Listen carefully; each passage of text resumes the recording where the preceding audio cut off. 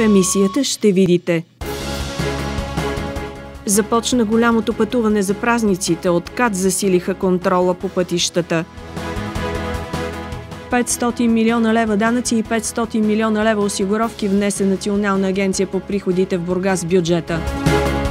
Новопостроените пречиствателни станции са основната причина за поскъпването на водата.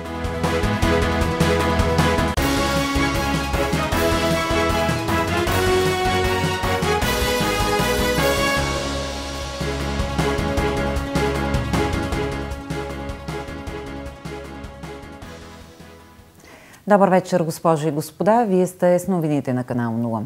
1 милиард лева, от които 500 милиона лева данъци и 500 милиона лева осигуровки, внесе териториалната дирекция на Националната агенция за приходите в Бургас в републиканския бюджет.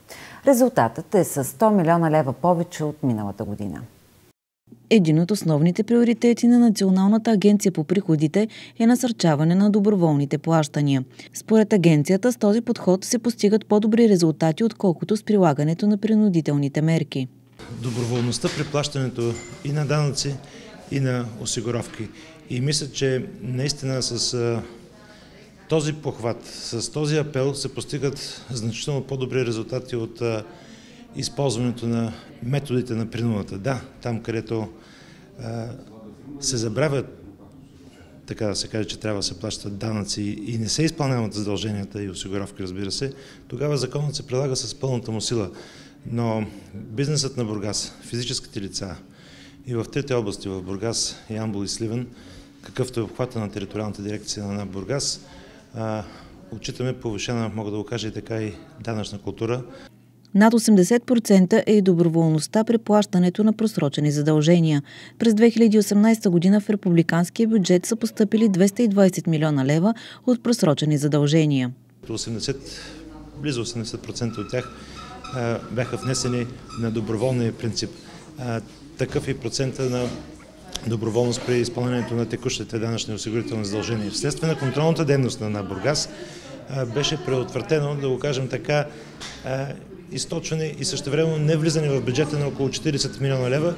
Тези пари, това са данъци осигуровки, бяха разкрити чрез нашите ревизионни действия и контролни действия. От приходната администрация отчитат и тенденция на повишаваща се гражданска и фирмена активност по отношение на сигнализиране за нарушения на данъчните и осигурителни закони и неиздаване на касови бележки. Нарастваща непримиримост, една нарастваща гражданска активност към а, заобикарянето на закона.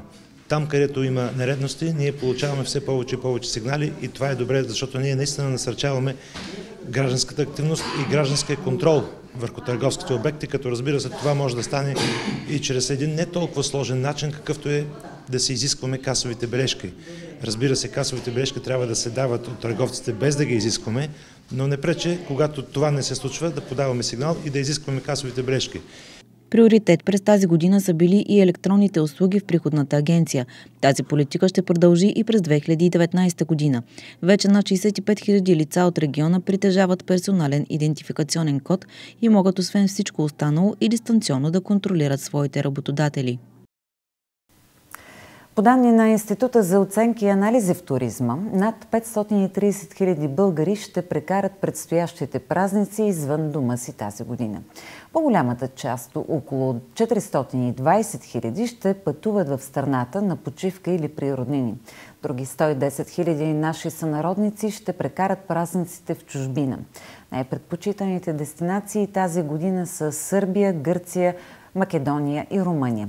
Увеличава се и броят на българите, избрали да почиват в страни от Централна и Западна Европа. Цената на тока и построените пречиствателни станции са сред основните причини за поскъпването на водата. Това посочи експертът от Министерството на регионалното развитие Иво Кацаров пред депутатите от Комисията за наблюдение на работата на Комисията за енергийно и водно регулиране. От следващата година предстои ново поскъпване на водата в 27 населени места. В редица градове цената на услугата вече ще е над 3 лева за кубик. Сред тях са Бургас, Добрич, Шумен и Враца. Според европейските изисквания на територия с население над 10 000 души трябва да съществува пречиствателна станция. Това изискване България все още не е изпълнила напълно. Но построените до този момент пречиствателни съоръжения вече дават отражение във водния сектор. Имаме доста обособени територии и агломерации, където влизат много пречиствателни станции за отпадъчни води, съгласно изискванията на европейското законодателство – там растат и разходите на ВИК операторите и те трябва да се калкулират в крайната цена. Експертът припомни също, че въвеждането на единна цена в един регион също доведе до поскъпване на услугата. Неминуемо тук говорим за свързани пазари. Ако цената на електроенергията тръгне на някъде, цената на водата автоматично е следва, посочи експертът. На заседание на Министерски съвет бяха осигурени допълнителни трансфери по бюджетите на общините. 1,6 милиона лева предвижда постановлението за община Приморско. Средствата са предвидени за осъществяването на проект Кръстовище на улица Стамополо и улица Иглика с прилежащо благоустройство. Проектът е свързан с подобряване на транспортното обслужване и жизнената среда и включва осигуряване на нови обособени места за паркиране, тротуари, зелени площи, детски съоръжения и площадки, велоалея. Министерското постановление предостави общо 145 5,7 милиона лева към общини от цялата страна, като средствата са насочени за ремонти на общински пътища и на улична мрежа. Още в началото на следващата година в Бургас започва най-мащабната инвестиция в сферата на строителството за последните 30 години в града. В началото на февруари ще започне строителството на първия 18-етажен блок от новото високоетажно строителство в Бургас. Последните няколко месеца бе изградена пешеходната пасарелка над улица Даме Груев, както и подстъпите към подземния паркинг, който ще е на две нива за 1500 автомобила. За първи път строителството започва от инфраструктурата и едва след това започва изграждането на жилищните сгради. Този удобен и достъпен преход към града показва рационален и оптимизиран подход към всеки детал в комплекса, за да бъде удовлетворена всяка нужда на жителите. Амбициите са да приключи строителството на първия блок за по-малко от година, а успоредно с това стартира изграждането на втори 18-етажен билдинг. Третият блок, както и бизнес градите, трябва да са завършени напълно до 2021 година проекта са интегрирани някои от най-модерните решения и технологии в строителството. Това ще бъде мултифункционална зона, осигуряваща модерна среда за живот, но същевременно построена и смисъл за бизнеса. Всички автомобили ще са на двете подземни нива, а към апартаментите ще има поне по едно парко място. По този начин на кота 0 ще се обособи парково пространство, ботаническа градина, водно огледало, три шопинг центъра, заведения за хранене, детски център и други удобства, осигуряващи всичко нужно на хората, които ще живеят в комплекса. Освен това, той ще продължи да оформя визията на Бургас като един от модерните български градове с високо етажно съвременно строителство. Община Карнобат ще кандидатства с проектно предложение по проект Красива България. Това стана ясно на последната сесия за тази година на Общинския съвет в града. Ако бъде одобрена, общината ще изгради нова детска млечна кухня. До сегашната сграда на детската млечна кухня се руши. Затова от община Карнобат иска да кандидатстват за средства за цялостна реконструкция. Тя сградата е потъваща, пропукана и се оказа, че не подлежи на, на ремонт. Тя няма основи, трябва да се събори до основи. По-добрият вариант беше да изпроектираме една нова съвременна млечна, млечна кухня. Според кмета Георги Димитров, общината има много малък шанс да спечели проекта заради ниската безработица в града. Не съм голям оптимист да го спечелим, защото основен критерий там е ниво на безработицата, която трябва да бъде над средното равнище за страната. За страната е около 7 в момента, Нашата е около 4,5. Още тук виждам, че ние не отговаряме на критериите, което означава, че трябва да стягаме колана и да мислим за собствено финансиране. Млечната кухня ни е необходима. Община Карнобат има готовност, ако не бъде спечелен проекта, да изградят детска млечна кухня със собствени средства. Ако сте ходили в патронажа, вижте при какви условия готвим на нашите потребители. Ние в момента готвим за 500 човека. Знаете ли другите общини?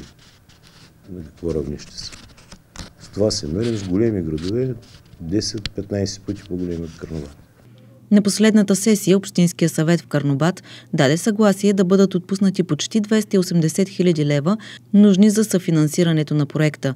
Преустройството на двуетажна сграда в млечна кухня на първия етаж и офиси на втория ще струва общо почти 400 хиляди лева, а парите, които гласуваха на днешната си сесия Общинския съвет, съставляват 70% от тях. Община Карновач ще реконструира със собствени средства двора на училище Свети Свети Кирил Методи. За да стане възможно това, администрацията ще отпусне 13 000 лева за ремонта. Общинските съветници подкрепиха докладната записка на кмета Георги Димитров. Ремонтът в училище Свети Свети Кирил и Методи започна в началото на учебната година. Сградата бе санирана и обновена по оперативна програма Региони в растеж. Остана да бъде ремонтиран само дворът на училището, но от ръководството на учебното заведение не разполагат със сумата. Там решиха със собствени средства да направят вертикалната планировка и да, да подменят плочките в целия двор около 70 и няколко хиляди лева е общата сметка. Не им стигнаха парите. Училището е общинска собственост. Нормално е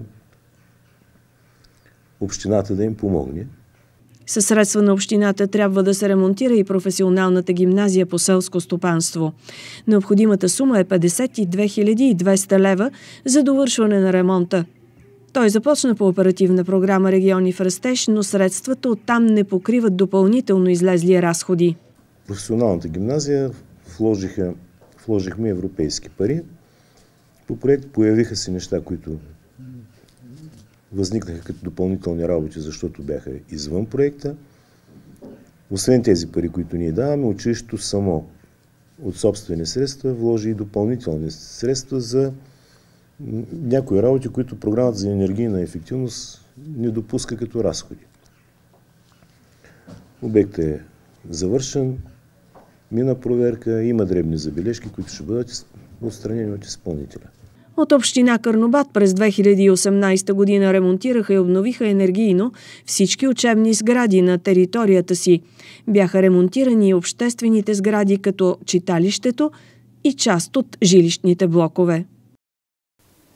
За девета година община Етос награди най-изявените си спортисти, треньори и отбори. Победителите са избрани чрез гласуване в онлайн платформа, като в анкетата са се включили 7000 айтозлии. Церемонията по награждаване се състоя в залата на Общинския съвет. Кметът Васил Едрев заяви, че е изключително горд с постигнатите през годината спортни успехи и че за поредна година Община Айтос показва, че излъчва едни от най-борбените и успешни спортисти, които се реализират и на национално ниво където и да отидат, ни прославят със своите успехи. За това, че съм много горд в годините до момента като кмет, че обърнах внимание на децата, на подрастващото поколение. А ето се град с спортни традиции. И когато правим бюджета се задъхвам, защото страшно много спортни клубове имаме, които трябва да подпомагаме. 19 бяха номинираните в категория спортист на годината, като на почетното трето място Айтузли избраха смесената двойка от клуба по спортна акробатика Орел Ивайла Момчилова и Атанас Богданов. Двамата са носители на бронзови медали от държавния шампионат тази година в категорията 11-16 години. На второ място с над 2400 гласа се класира Димитър Киряков от футболен клуб Вихър, който участва и в представителния мъжки отбор. За спортисти на годината с общо 2605 гласа бяха избрани Дилара Пачала и Жаклин Челебиева, женска двойка от клуба по спортна акробатика Орел, носителки на сребърни медали от държавния шампионат тази година. Тази награда значи много за мен и много благодаря на треньорите, защото ако не бяха те, изобщо нямаше да постигнем нищо. И ако не се бяха занимавали с нас, също нямаше да стане нищо от нас. И ако не бяха те, нямаше да смени, което сме сега. За до година е, искам най-вече да съм с близките, с треньорите ми, с партньорката ми и да спечелим първо място този път. Общо 9 треньори бяха номинирани в тази годишната класация, като на трето място се класира Катя Цанева, треньор по спортна акробатика. На второ – Ружди Хасан Ахмет, треньор по борба, а победителят тази година е треньорът по спортна акробатика Мартин Бенов. Следи съм, да, аз родом по принцип не съм от тук и не съм очаквал чак так, такова признание от община Айтос, от всички граждани. Което прави наградата още по-ценна. Още по-ценна, да. За вас са гласували много, много хора. Доволен ли сте от вашите възпитаници? Да, разбира се. Но винаги може още. Класацията за отбори на четвърто място са кадетките към волейболен клуб Айтос, третия баскетболният отбор Вихър едно, на второ място е мъжкия футболен клуб Вихър, а първо място Айтозли са определили за спортния клуб по свободна борба. Специална награда на церемонията получи победителя от Балканското първенство по борба Октай Ружди, който вече е състезател в националния отбор. Церемонията завърши с обща снимка на всички наградени. Днес започна голямото пътуване за коледните празници и много хора потеглят на път. Шофьорите, на които до края на годината предстои пътуване и в момента нямат валиден винетен стикер, могат да се закупят предпочитаната хартия на винетка, тъй като нейната валидност изтича през 2019. Не е задължително да я конвентират в електронна. Това е препоръчително и се прави за удобство при пътуването.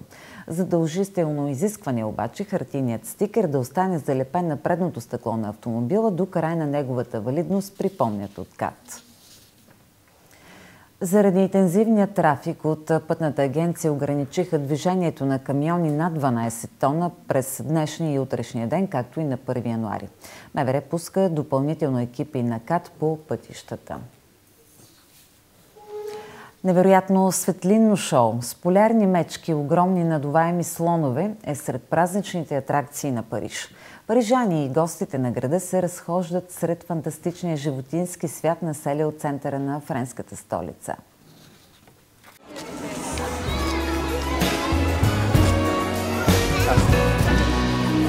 Someone to care, someone to share those lonely hours and moments of despair to be loved, to be loved. Oh, what a feeling to be loved. Yeah.